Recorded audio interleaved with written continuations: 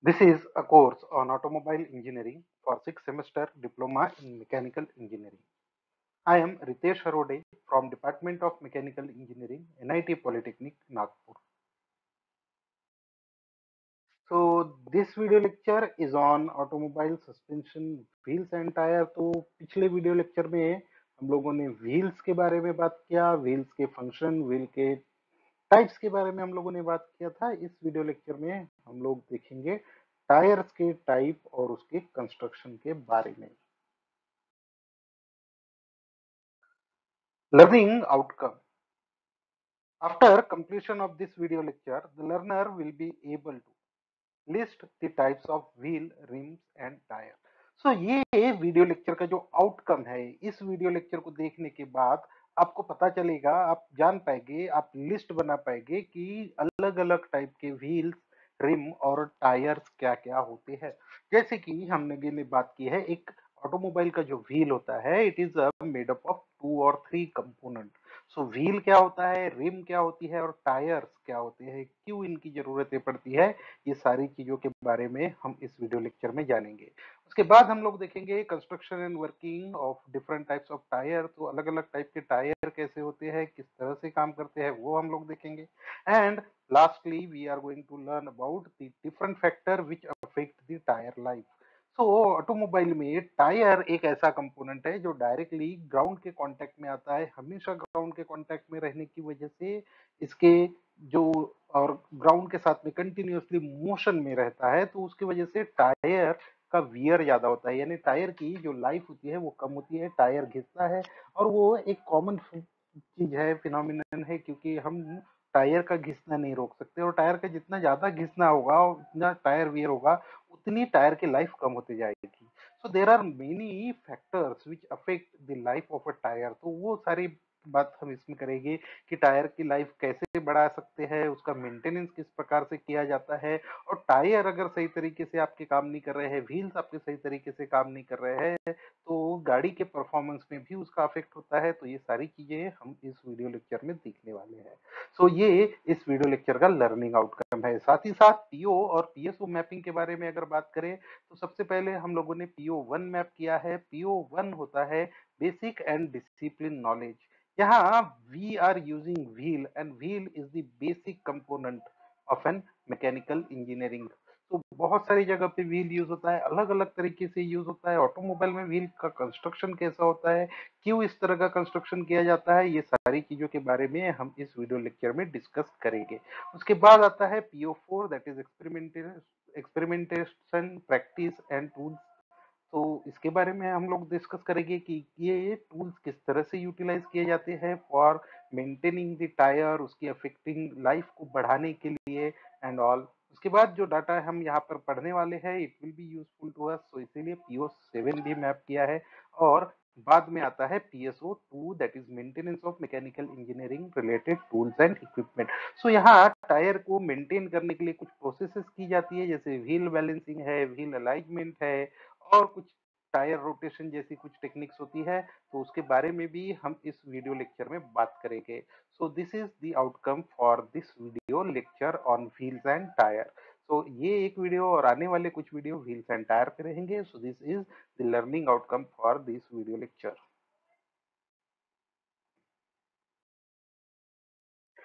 so अब बात करते हैं टायर्स टायर्स के बारे में हमें पता है कि टायर्स व्हील के ऊपर लगता है, यानी जो टायर का व्हील का रिम है, उसके ऊपर टायर लगाया जाता है।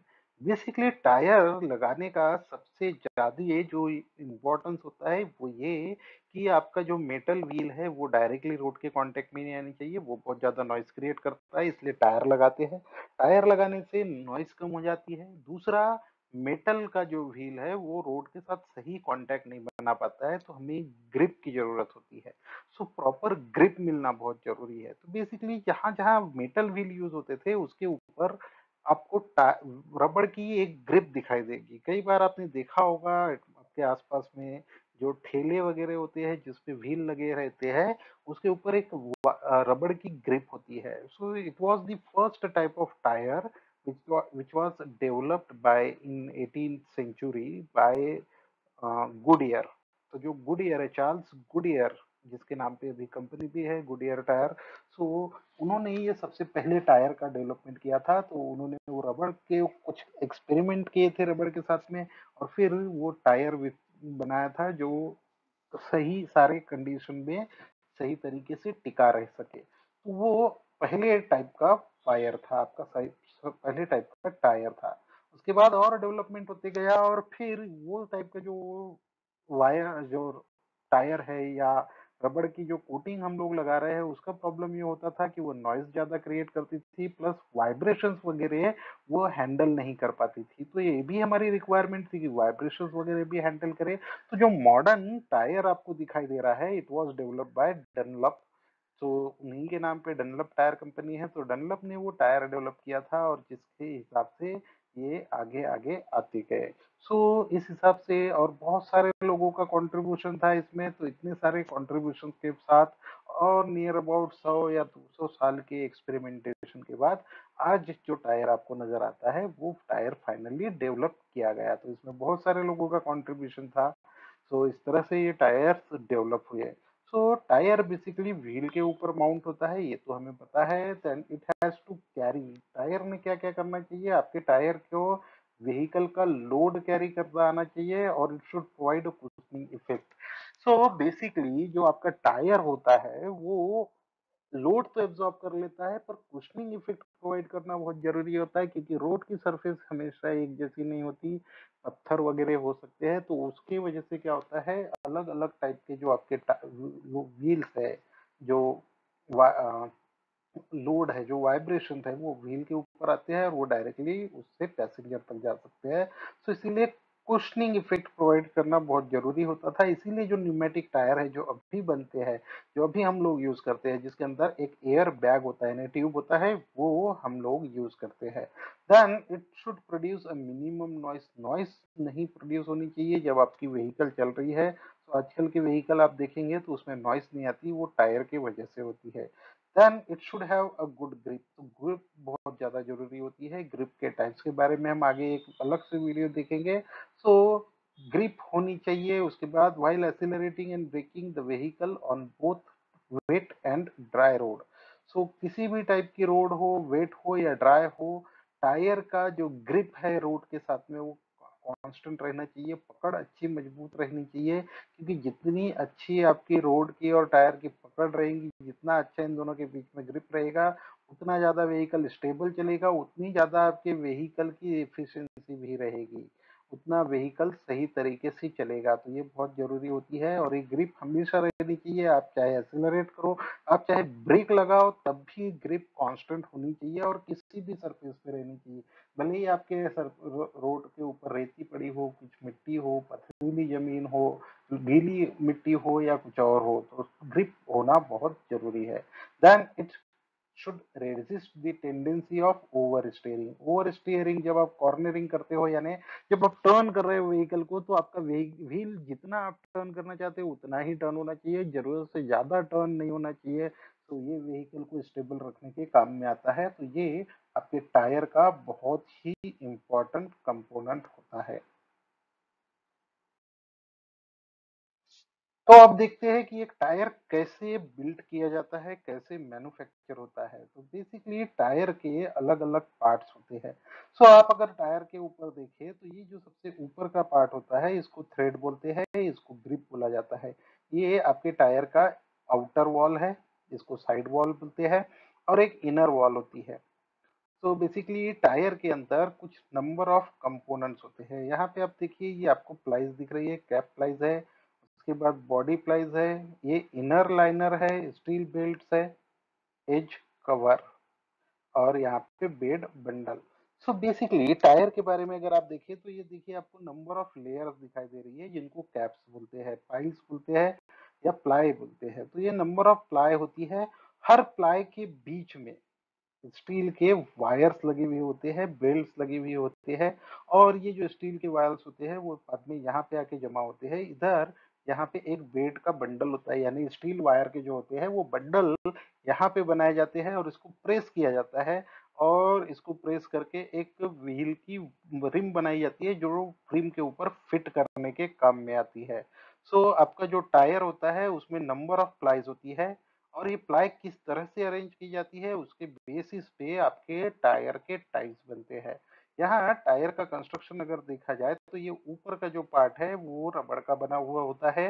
बाकी ये साइड वॉल्स जो है it is made up of fabric made up of रबड़। सो रबड़ एंड फैब्रिक का मिक्सचर होता है। इनर वॉल भी उसी की बनी हुई होती है और बीच में आपको बहुत सारे रबड़ के स्टील के वायर्स और प्लाई कंपोनेंट बना के कम्प्लीटली उसको प्रेस करके आपका टायर फाइनली कंस्ट्रक्ट होता है। सो so, इस टाइप के कंपोनेंट आपके एक टायर के अंदर होते हैं।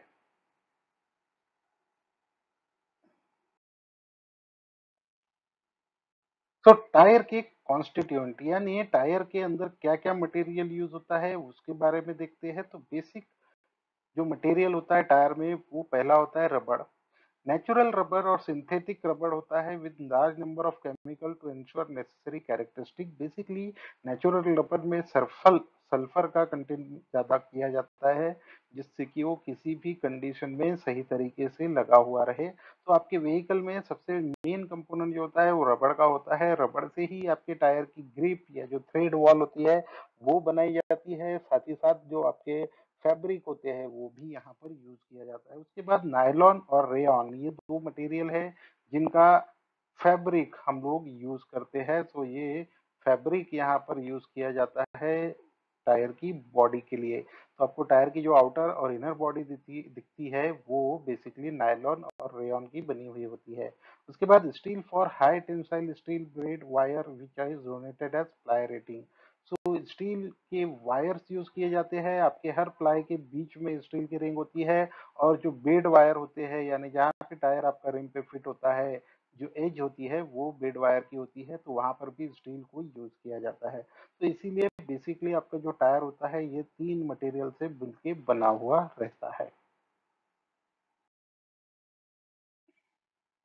Now types of tyre construction के बारे में अगर बात करें तो सबसे पहला टायर होता है bias ply it has a body of fabric ply that turn alternately at opposite angle so opposite angle पे ये चलता है इसको क्रॉस प्लाई वायर भी बोलते हैं, ये कंस्ट्रक्शन कैसा होता है हम देखेंगे। उसके बाद belted bias ply has two or more belts around the circumference of the tyre अंदर दी थ्रेड तो यहाँ पे दो या उससे ज़्यादा बेल्ट्स बने हुए रहते हैं आपके टायर में। उसके बाद आता है रेडियल प्लाई ये एक मॉडर्न टायर है। It was developed by Michelin tyres in 1946 और तब से ये टायर बहुत ज़्यादा यूज़ हो रहा है has body cords that run at a 90 degree angle to the circumference of tyre so ये रेडियल होता है सर्कमफेरेंस की 90 डिग्री पे किस तरह से यूज़ होता है, वो हम लोग अभी देखेंगे। तो बेसिकली टायर के कंस्ट्रक्शन के बारे में अगर बात करें तो ये तीन टाइप के टायर होते हैं। इसमें भी आपको क्रॉस प्लाई ये पहला और ये रेडियल प्लाई अभी ज़्यादा से ज़्यादा देखने के लिए मिलते हैं। तो ये तीनों के टाइप के जो टायर है, ये प्लाई के अरेंजमेंट पे, यानी जो प्लायल हमने देखी थी ना लेयर्स जो टायर के कंस्ट्रक्शन में होती है सो तो ये जो लेयर्स होती है, ये किस तरह से अरेंज की हुई है, उसके बेस पे आपके टायर का कंस्ट्रक्शन होता है।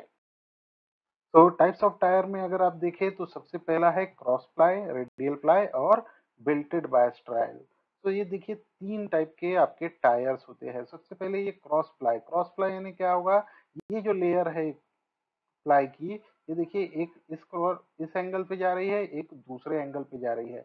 और फिर इसके ऊपर फिर से ये इधर से एक लेयर आएगी, फिर इधर से एक लेयर आएगी। तो ये दोनों लेयर जो है, ये एक दूसरे को क्रॉस करती है और ये इस तरह से आपके पूरे टायर को मैन्युफैक्चर करती है ऊपर तक।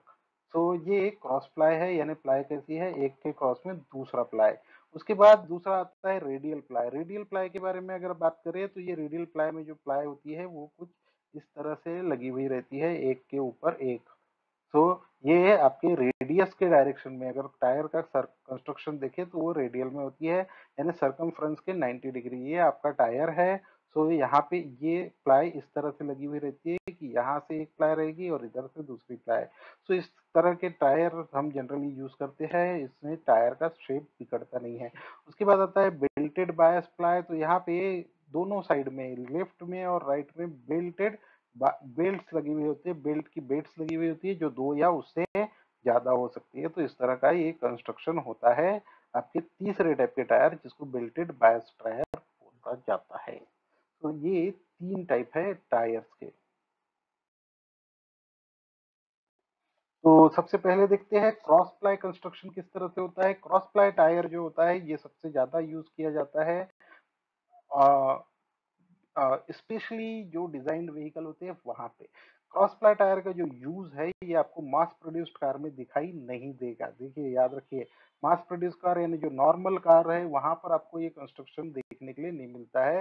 लेकिन ये जो टायर की टेक्नोलॉजी है, ये यूजफुल है कि हाउ टायर इज़ डेवलप वो समझने के लिए। तो बेसिकली कुछ सालों पहले तक बेल्टेड बायस टायर यूज़ किए जाते थे, उसके बाद क्रॉस प्लाई टायर का यूज़ किया जाता था। क्रॉस प्लाई टायर में आपके लिए देखेंगे सेवरल टेक्सटाइल प्लाईज जो होती है, जो प्लाई होती है, वो एक के ऊपर एक, running from bead to bead in alternate direction. So यहाँ पे आपको दिख रहा है कि ये एक प्लाई है, ये इधर इस डायरेक्शन में चल रही है तो ये दूसरे डायरेक्शन में चलती थी, इधर से इधर, फिर ये इसको दोनों को एक दूसरे को क्रॉस करेंगे। फिर उसके नीचे दूसरा ये दिख रहा है तो ये इस तरह से अलग अलग आपके लेयर्स बने हुए रहते थे और ये जो प्लाई है नंबर ये डिपेंड करता है कि टायर का लोड कैपेसिटी कितना है उसके हिसाब से।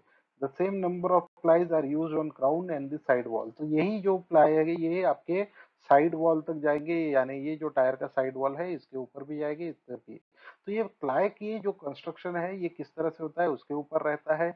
उसके बाद सबसे ऊपर ये साइड वॉल लगाई जाती है, यहाँ पे साइड वॉल आपको दिखाई दे रही है, और ऊपर में ये टायर की ग्रिप यानी थ्रेड जो है वो अटैच किए जाते हैं तो इस तरह से क्रॉस प्लाई टायर का कंस्ट्रक्शन होता है। इसका यूज़ आपको अभी नॉर्मल व्हीकल्स में दिखाई नहीं देगा, क्योंकि मैक्सिमम जो व्हीकल्स होते हैं, वो रेडियल टायर को यूज़ करते हैं। क्रॉस प्लाई का यूज़ कुछ लिमिटेड जगह पे है, जहाँ पर आप बहुत ज़्यादा सीवियर यूज़ कर रहे हो। हेवी लोडेड व्हीकल में यूज़ कर रहे, किया जा रहा है व्हीकल का किसी स्पेशल पर्पज के लिए यूज़ कर रहे हैं, वहाँ पे क्रॉस प्लाई टायर आपको दिखाई देगा। उसके बाद आता है रेडियल प्लाई टायर कंस्ट्रक्शन तो रेडियल प्लाई में क्या है कि ये आपके रेडियल प्लाई में जो टायर की प्लाई है, वो 90 डिग्री पे है। यहाँ पे आपको दिखाई दे रहा है, ये देखिए, एक प्लाई 90 डिग्री पे लगा हुआ है, एक उसके बाजू में लगा रहेगा, उसके बाद में लगा रहेगा। तो इस तरह से ये आपके डायरेक्शन ऑफ़ टायर रोल के 90 डिग्री में लगते हैं। यानी टायर किस डायरेक्शन में रोल होगा? ये टायर इस डायरेक्शन में रोल होने वाला है। तो उसके 90 डिग्री पे ये आपके प्लाई लगे हुए रहते हैं। So this is the radial type of tyre so ये जैसे कि बोला गया है डेवलप सॉरी मिशलिन टायर से ये डेवलप किया था इन्वेंट किया था और इसका फ़ायदा ये होता है कि ये टायर बहुत स्टेबल रहता है। इसमें आपके व्हीकल की रनिंग कैपेसिटी बहुत ज़्यादा बढ़ जाती है। आपके टायर की एफिशिएंसी ज़्यादा होती है। The top of tyre built made of several plies तो टॉप में क्या रहेगा? ये नंबर ऑफ़ ये बेल्ट लगाए जाते हैं। नंबर ऑफ़ प्लाईज रहती है मेटल वायर यहाँ पे लगते हैं मेटल वायर फिर उसके ऊपर प्लाई फिर मेटल वायर फिर प्लाई इस तरह से ये लगाया जाता है और फिर साइड में ये आपका साइड वॉल और में यहाँ पे आपके टायर की ग्रिप भी लगाई जाती है। सो so, इस तरह से ये रेडियल टायर का कंस्ट्रक्शन होता है। सो so, अभी जब भी आप टाइप की ऑफ़ व्हीकल देखेंगे तो रेडियल प्लाई टायर यूज़ किए जाते हैं। रेडियल प्लाई टायर्स के बारे में अगर आप बात करें तो सबसे ज़्यादा इसका जो यूज़ है, यहाँ पे आपको ट्रैक्शन बहुत अच्छा मिलता है, क्योंकि आपका flat stable cloud and larger footprint होता है। ग्राउंड के साथ कॉन्टैक्ट, इस टाइप के रेडियल प्लाई टायर का जो होता है, वो ग्राउंड के साथ कॉन्टैक्ट, यानी रोड के साथ में कॉन्टैक्ट बहुत अच्छा होता है। तो उसके वजह से ट्रैक्शन आपको बहुत अच्छा मिलता है, जिससे आपका व्हीकल बहुत ज़्यादा रोड के साथ कांटेक्ट होकर चलता है तो स्लिपिंग के चांसेस कम हो जाते हैं। तो उससे फ़ायदा ये होता है कि आपकी व्हीकल की एफिशिएंसी बहुत ज़्यादा बढ़ जाती है। बेटर डिस्ट्रीब्यूशन ऑफ़ प्रेशर आपका जो व्हीकल के ऊपर का जो लोड आ रहा है, वो प्रेशर बहुत ज़्यादा अच्छी तरह से बिल्टअप होता है डिस्ट्रीब्यूट होता है कॉन्टैक्ट रोड का कॉन्टैक्ट सही तरीके से होता है। तो उस वजह से आपका टायर वियर भी कम होता है। Reduced working time due to less tyre slip tyre slip कम होता है और प्रोडक्टिविटी बढ़ जाती है, इसीलिए आपके व्हीकल की लाइफ भी बढ़ जाती है। इसमें फ्यूल कंजम्पशन कम होता है क्योंकि ट्रैक्शन जितना अच्छा रहेगा, उतना ज़्यादा फ्यूल कंजम्पशन कम होने वाला है। उसके बाद लॉन्गर थ्रेड लाइफ आपकी थ्रेड लाइफ के ऊपर यूनिफॉर्म लोड आने की वजह से, ये देखिए बेटर डिस्ट्रीब्यूशन ऑफ़ प्रेशर ये होने की वजह से आपकी जो टायर की लाइफ है, वो बढ़ जाती है। उसके बाद comfort and handling on the road is very much better in this of case of tyre तो जो आपके रेडियल टायर है, उसमें ये भी एक फ़ायदा आपको मिलता है। So this is all about the types of tyre उसी के बाद अगर और बात की जाए तो ये तो हमने टायर का कंस्ट्रक्शन देखा है, पर टायर के अंदर ट्यूब किस तरह से यूज़ कर रही है, उसके बेसिस पे भी टायर के टाइप्स होते हैं। तो basically there are two types of tyre एक होता है ट्यूब टायर और दूसरा होता है ट्यूबलेस टायर इनके बारे में ज़्यादा डिस्कस करने की ज़रूरत तो हमें नहीं है, लेकिन ट्यूब टायर में क्या होता है, एक कन्वेंशनल एयर का ट्यूब बना हुआ रहता है, जो टायर के अंदर लगता है, जो रिमूवेबल होता है, जिसको आप निकाल सकते हो, वापस लगा सकते हो, जिसमें पंचर वगैरह के चांसेस होते हैं तो वो आपका ट्यूब पंचर होता है, उसको रिपेयर किया जा सकता है। ओके सो, ये टाइप का ट्यूब टायर होता है, जो जनरली यूज़ होता है। उसके बाद आता है ट्यूबलेस टायर तो ट्यूबलेस टायर में क्या होता है, जो ट्यूब होती है, वो रिन्यूएबल नहीं रहती है, वो परमानेंटली उसी के अंदर फिट की हुई रहती है। और इसका यूज़ अगर आप देखेंगे तो ये बहुत अच्छा रहता है। यहाँ पर जो ट्यूबलेस टायर है, इसमें एक खासियत ये होती है कि अगर ये व्हीकल कभी पंचर होता है तो हवा जो होती है, वो धीरे धीरे रिमूव होती है और आपके टायर जल्दी ही फ्लैट नहीं होता। तो वो एक फ़ायदा है। बेसिकली इन दोनों चीज़ों के बारे में आपको बहुत ज़्यादा पता होना चाहिए होता भी है तो उसके बारे में हम ज़्यादा डिस्कस नहीं करेंगे। तो ये ट्यूब टायर और ट्यूबलेस टायर के दो टाइप हो सकते हैं जो अभी हम लोग यूज़ करते हैं व्हीकल्स में। सो so, इस तरह से हम लोगों ने इस वीडियो लेक्चर के एंड में आ गए। एक बार हम लोग वीडियो लेक्चर की समरी के बारे में डिस्कस कर लेते हैं कि इस वीडियो लेक्चर में हम लोगों ने क्या क्या सीखा। तो हम लोगों ने इस वीडियो लेक्चर में टाइप्स ऑफ़ टायर के बारे में देखा है कि टाइप्स ऑफ़ टायर क्या क्या होते हैं वो हम लोगों ने देखा। उसके बाद हमने टायर के फ़ंक्शंस देखे टायर के कंस्ट्रक्शन के बेस पे टायर के कितने टाइप होते हैं वो हम लोग देख चुके हैं। उसके बाद हम लोगों ने देखा है कि रेडियल टायर का कंस्ट्रक्शन किस तरह से होता है। हमने क्रॉस प्लाई टायर का भी कंस्ट्रक्शन देखा है, पर असाइनमेंट में आपको एक ही क्वेश्चन दिया जा रहा है कि आपको कंस्ट्रक्शन ऑफ़ रेडियल टायर के बारे में यहाँ पर बात करनी है। साथ ही साथ पीओ वन की मैपिंग हम लोग देखेंगे। पीओ टू यहाँ पे हमारा जो मैपिंग है वो पीओ वन का मैपिंग हुआ था बेसिक और डिसिप्लिन नॉलेज PO4 में आपको आता है experimentation tools and equipment and practice PO7 life long learning हमारा फुलफिल हुआ और PSO2 जो कि है maintenance of mechanical engineering related tools and equipment so ये इस वीडियो लेक्चर का आउटकम है। So our next video lecture will be on tyre economy tyre के कंस्ट्रक्शन के बारे में हम लोगों ने बात कर लिया। टायर का जो कंस्ट्रक्शन होता है, वो डायरेक्टली इफ़ेक्ट करता है टायर की लाइफ को। तो टायर की लाइफ किस तरह से इम्प्रूव हो सकती है? टायर किस तरह से यूज़ किया जाता है? उसका कंस्ट्रक्शन और उसके इकोनॉमिक कंसिडरेशन के बारे में हम लोग बात करेंगे अगले वीडियो लेक्चर में। Till then keep learning thank you